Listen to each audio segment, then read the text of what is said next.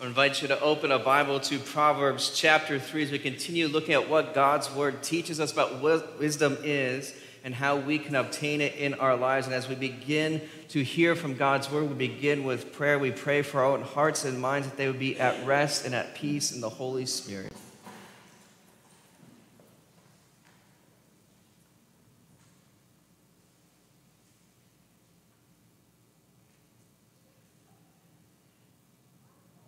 We also pray for our brothers and sisters in Christ that they would hear from God's word what they need to hear and that they would follow the teachings of Jesus and the Holy Spirit in their lives.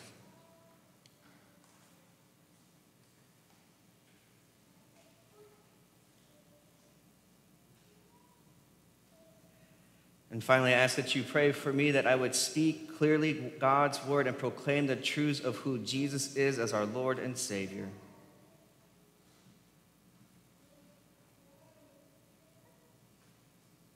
Psalm 19 says, Let the words of my mouth and the meditation of my heart be acceptable in your sight, O Lord, my rock and my redeemer. Amen. So, Proverbs is this wonderful book that teaches us about wisdom, and wisdom is one of those things that we hear about, we want, we desire, but there's a lot of different definitions of what it means to be wise in the world. There's lots of different people that are smart, intelligent, very well learned, and throughout history, people have said, this person's wise or this person's foolish, and we begin to make up our own definitions of what is foolish and what is wise. And so as we look at Proverbs, we were trying to understand what does God's word say is true wisdom according to him and then how do we live that out? In Proverbs chapter 1, last week we looked at how Proverbs teaches us there's essentially two types of fools. Martin Luther used to use the analogy that you're riding along on a donkey, and sometimes you fall off on the right, and sometimes you fall off on the left. And as humans, what we argue about is who fell off the best, right? Was it smarter and wiser to fall off to the right, or is it smarter and wiser to fall off to the left? And Luther's point was doesn't really matter because you still what? You fell off. It doesn't matter. So Proverbs essentially presents us with this. There's two types of fools, and we'll argue to the death amongst ourselves who's the wiser fool. Right? So one fool, according to Proverbs 1, is the person that always listens to the world. What we, sometimes we call it peer pressure, right? So whatever the cultural trends are, whatever the world says, whatever your group of people says and says, this is right and everybody else is wrong, and we just go along with it. Proverbs says that is foolish because you're going in the ways of the world. In fact, in Proverbs 1 it says, you've gone wayward. You, you've lost track of God's path for your life. And then the other type of fool is the person that's unwilling to admit that they're ever a fool. You're always right in your own eyes. You always have to win the argument. You can never be proven wrong. And what Proverbs says is it doesn't really matter which way you go, which side of the donkey you fall off. Either way, you are being foolish. And so, the first step that Proverbs teaches us about how we can understand biblical wisdom and become wise is to admit that we are foolish. Sometimes we are foolish because we don't listen to God's word and we go the way of the world in whatever direction people pressure us and tell us this is good and this is wise. And other times we are foolish because in our own lives we are right. Right? Anybody ever muttered under your breath, if you want something done right, you've got to do it yourself? Yeah, okay. Well, Proverbs is saying you are foolish in your own eyes sometimes because of that stubbornness that we have. And so Proverbs 1 tells us that the beginning of wisdom, the beginning of knowledge is the fear of the Lord. What that means is that not that we are afraid that God will punish us or condemn us, but that we love Him so much, have such a high reverence for Him and His ways and His word, that we are afraid of dishonoring Him, of letting Him down, of disappointing Him. And because we have that fear and such great love and reverence for Him, our desire becomes then his ways and His word in the world and in our lives. So, the first step to gaining wisdom is admitting that we are sometimes foolish ourselves. It's not just everybody else. Everybody else is foolish. That's easy. The beginning of wisdom is admitting I'm foolish and I don't always live in the ways of the Lord. And Proverbs chapter 3 is going to reiterate this for us and then explain to us well, how do I then, if, I, if that's wisdom, following God's ways, right? Um, admitting that I'm a fool and I need His guidance in my life, that's what wisdom is, following God's ways. Chapter 3 is going to explain to us how, how do we understand his ways and how do we get that wisdom in our lives? So, chapter 3 of Proverbs begins this way, verse 1 My son, do not forget my teaching, but let your heart keep my commandments. For length of days and years of life and peace they will add to you.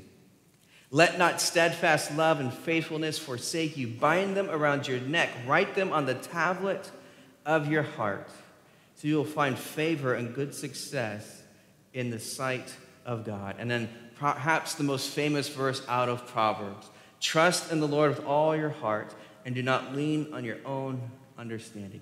Now, why I read all those together is it mentions the word heart multiple times, right?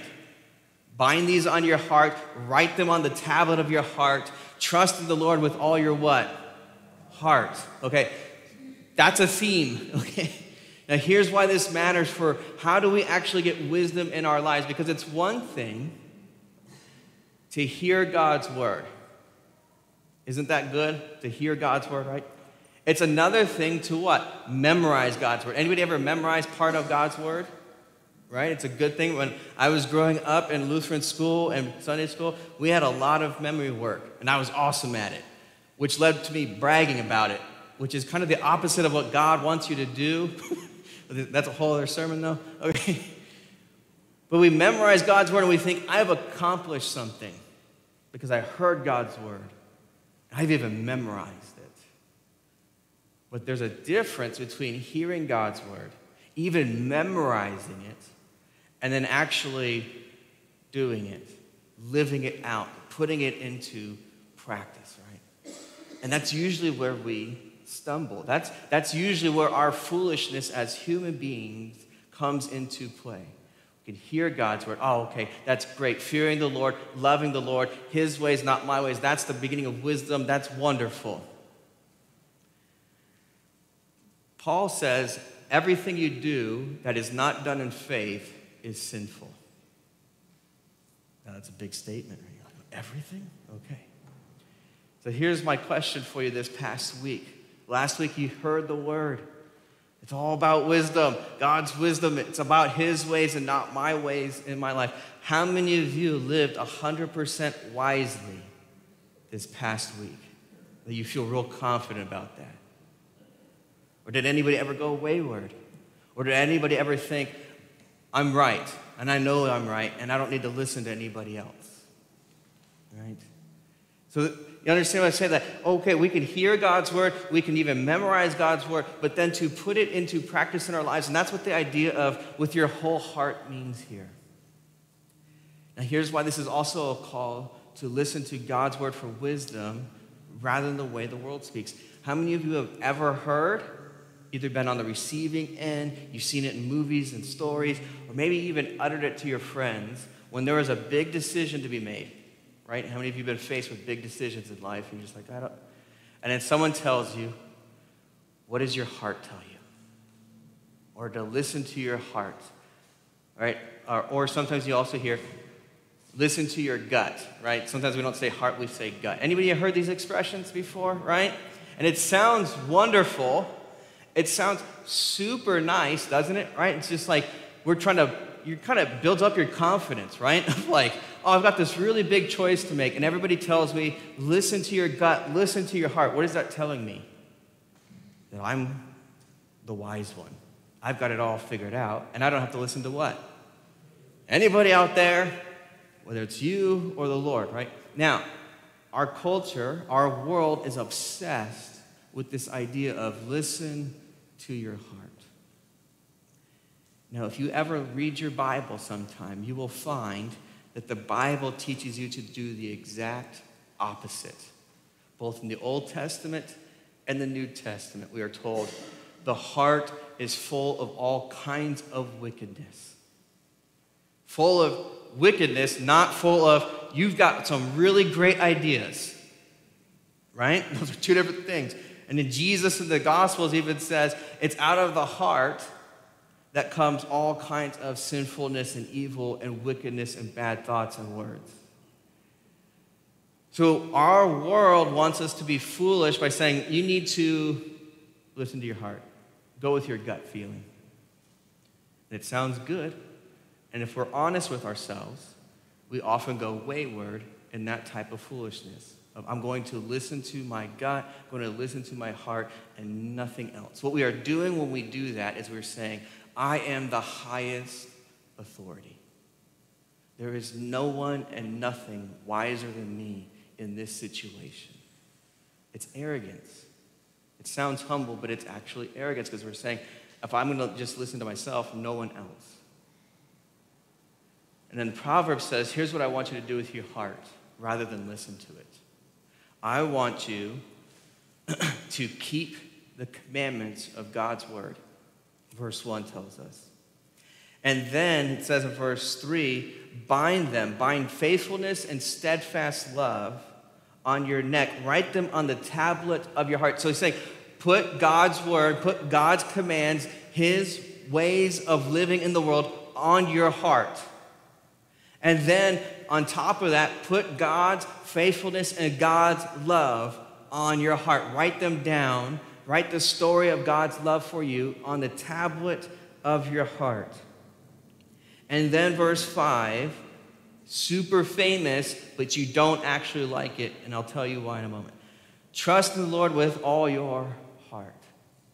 So Proverbs is telling us to do three things with our hearts that the world doesn't tell us. The world says just listen to it. Whatever it comes up with. How many of you have come up with a bad idea? Anybody want to admit that? And you're like, that was dumb. Anybody ever look back at your past and thought, boy, I really nailed all of it? Or have you ever looked back at your past and been like, I was a fool? Now, here's what you do as you get older and older you think I'm getting wiser and wiser. So I've talked to people that are older than me throughout my life and as, my pa- as a pastor, right? And so when you're in your 20s, guess what you think? I was really foolish in my teens. I wish I could have done this or that differently, said these things are differently. And then you get you into your 30s, and guess what you do? You look back at your 20s and be like, boy, I really didn't know what I was doing back then, did I? And then I've been told, I've been told when you get to your 40s, you look back at your 30s and you do the same thing, and then you get to your 50s and you kind of look, right? Anybody noticing a pattern? Every time we do the thing that the world says, we go wayward from God's ways and we go our own way, we listen to our own heart. We all have our own life experience where we look back and go, that was not a good idea. And then you ask yourself, where did that idea come from? Me. I can't blame it. I was the, the fool that came up with it, right? So Proverbs saying, stop following the way of the world that says, just listen to your heart and you be the wisest person. If you want to have wisdom in your own life, you need to listen to God. And He gives you steps on how to do it. Write His commandments on your heart, meaning learn them, be in God's Word. Ask Him for wisdom. James chapter 1 says, If any of you are lacking wisdom, pray to the Father and ask Him who is generous to give it to you. So even the New Testament is telling you here, if you want wisdom, if you need help in life and which way to go, which path to take because you want to be faithful to God, God's word says just ask him. Proverbs says, learn his ways, learn his word. And it also tells us, learn about his love and faithfulness to you. See, it's not just wisdom of, I'm going to learn what God says to do and not do. It's also wisdom wrapped up in this love for God, knowing how much He loves me. And if I have this proper understanding of His faithfulness and His steadfast love, His consistent, never ending love for me, guess what it's going to do to my heart? It's going to give me a desire to follow Him more closely each and every day. And then it says in verse 5 to do this with your heart trust in the Lord with all your heart. How many of you have heard verse 5 before? Anybody ever said it to yourself or someone else, just you trying to you're in a difficult situation, you're like, I've heard this Bible verse before, right? Sometimes we do that. We get nervous. We don't know what to say, so we just start throwing out every verse we've ever memorized before. We're like, one of these will stick and help, right? So, verse 5 is beautiful. It's wise, it's smart, it's correct. Trust in the Lord with all your heart and do not lean on your own what? Understanding. Another way of saying it, don't lean on listening to your own heart, doing it your own way. Who are we to lean on and trust in? God, right? Now, it's in the Bible, you have it memorized, you know, that sounds good. How many of you agree with verse 5? You're like, yeah, that would make life better, right? And we're all in church, and so we're like, hey, yeah, this is good. This is the right thing. But what I brought up earlier, it's one thing to hear God's word. Some of you already said you got it memorized. It's not a hard verse to memorize. It's one thing to memorize it, right? And it's a totally other thing to do what? Go out there the rest of the week and live out verse 5. And this becomes the, the real struggle of how do we get true wisdom in our lives. Yes, there is the studying God's word, memorizing God's word, putting it into our hearts, knowing the story of Jesus and his love for us. All those things Proverbs tells us to do, and those are good, right? Here's the real rub of how to get wisdom in your life we call it repentance. And it is not fun to do. Because repentance also involves admitting, I am a fool sometimes. How many of you go through your week wanting to admit to other people you're a fool? Anybody told somebody that before? Like been in an job interview and they're like, tell us about your weakness, weaknesses. And you're like, well, I'm a fool. Anybody ever thrown that one out? I mean, it's biblical, probably not going to help you get the job, right? We, we, we have this resistance to what? Repentance. We have this resistance to admitting my ways are not the best ways.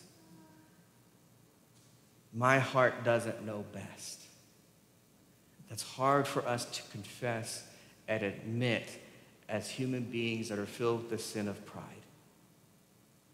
If you go all the way back to the Garden of Eden, the first sin, the first fall of our parents, Adam and Eve, is wrapped up in what? I know better than God's ways.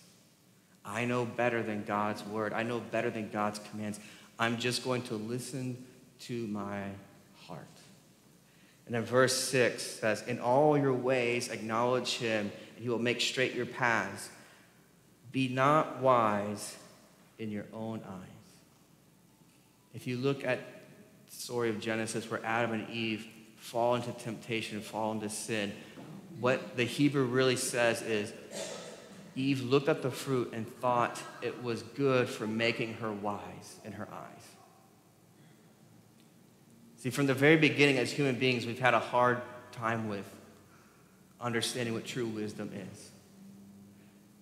And we want to be wise in our own eyes. We want to be wise in the eyes of people around us, right? That's why you go with the trends. That's why you go with the peer pressure, because what? Everybody will tell you, wow, you're so good. You're so smart. You're so insightful.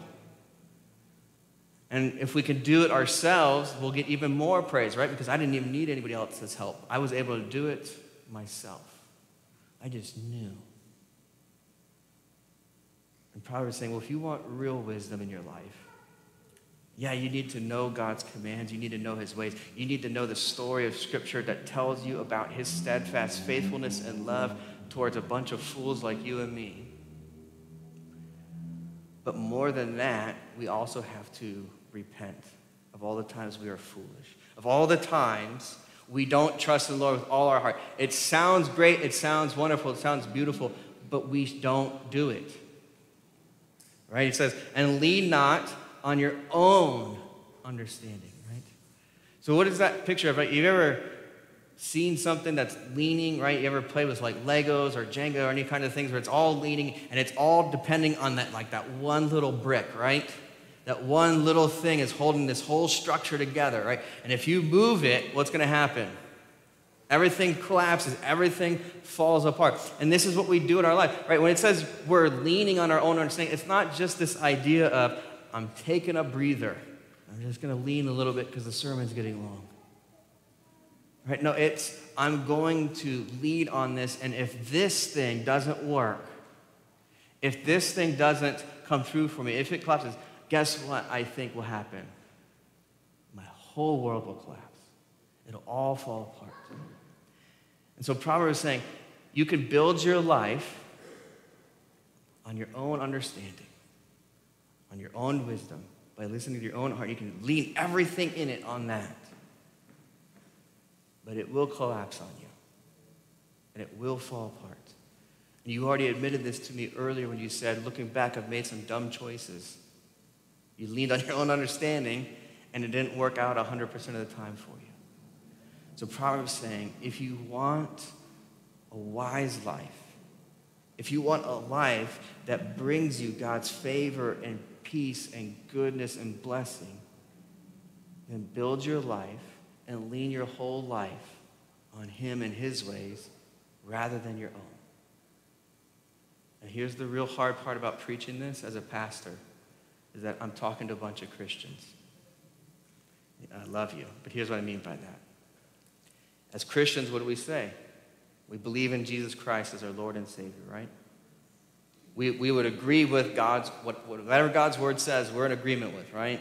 We don't live it out, but we are like, it's a, got some good intentions to listen to it, right? Amen? Okay? We're going to say, oh, so our response is going to be, what do you mean, Solomon and Proverbs? What do you mean, Pastor Mark? I've already done what? Based my life on Jesus.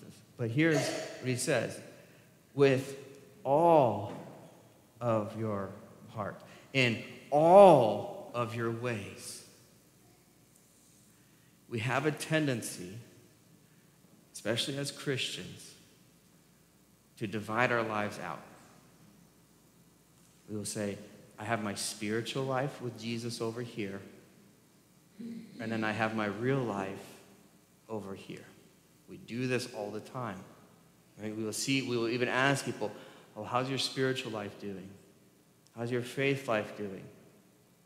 Here's the reality the Bible does not have those two categories. The Bible just says you have your life. So we are like, oh no, in the in the church area, in the spiritual area, I'm going to lean on Jesus because that just makes sense, right? Like, what, what else is? Why would else would you lean on something else, right? But in the rest of the world, when I get to work tomorrow, when I get that phone call or that email that I got to deal with later this week, guess what I'm going to do? I'm not going to bother God. That's not my spiritual life. That's my work life. That's my regular life. So guess what I'm going to do? Anybody else want to admit this with me? I'm going to lean on my own understanding nine times out of ten.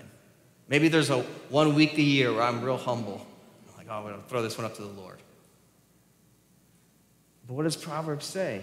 Trust in the Lord with all your heart. In all your ways, acknowledge him. Meaning, your all means all in the Bible, both in Hebrew and Greek. I always get asked, well, what does it mean by all? Because what do you want? We want to wiggle just, just a little bit of my life belongs to me and not the Lord. This piece of my heart belongs to me and not God. And Proverbs saying, if you want real wisdom in your life, wisdom that leads to straight paths, wisdom that leads to peace, wisdom that leads to success and goodness in the sight of God, then you're going to have to trust Him with your whole heart. All of it. Not just part of it, not just on Sundays, not just the spiritual aspects, but all of it. Proverbs is saying if you want wisdom that leads to peace and goodness and success and favor in the sight of God, which I think we would all sign up for, that kind of life. And he says, You're going to need to acknowledge him in all your ways. In other saying, in all your paths, in all your steps, in every area of your life. See, true wisdom is about our relationship with God. acknowledging his ways, putting him first in our lives, putting his commandments and his promises on tablets of our hearts. But the way we live it out, the way we put it into practice and receive its blessings and benefits in our lives is by repenting and saying, My whole heart and all my ways belongs to God. And whichever way He wants to lead me, whichever path He wants me to walk down, I'm going to follow Him. And resisting at all times the urge to listen to my own heart to lean on my own understandings. Right? So, verse 7 Be not wise in your own eyes. My advice to you is good luck. Right? That's hard to do. Be not wise in your own eyes. And then verse 7, though, gives us how do we do that? Fear the Lord and turn away from evil, turn away from foolishness. So, how do I humble myself and be wise in the eyes of the Lord rather than trying to be wise in my own eyes or the ways of the world? Proverbs saying again, fear the Lord. Love the Lord. Revere the Lord and his ways. And he will give you wisdom. And he will give you, as Proverbs 3 says, he will give you his steadfastness. He will give you his faithfulness. He will give you his peace and success. He will give you his favor. But the only way you and I are ever going to get that way of life in our lives is if we listen to what Proverbs says, we listen to what God's word says, and we say, My whole heart and all my steps and all my ways belong to Jesus and not myself. They belong to Jesus and not the world. As Proverbs says, remember his faithfulness and his steadfast love for you and then acknowledge him in all your ways. Let's pray. Lord Jesus, we give thanks for your faithfulness and steadfast love to us. We give thanks for your word that it speaks into every area of our lives. Holy Spirit, give us a spirit of humility and repentance so that we may return from evil, we may turn from our own foolishness and lean on the word of God and his ways in our lives and in our whole hearts. In your name we pray. Amen.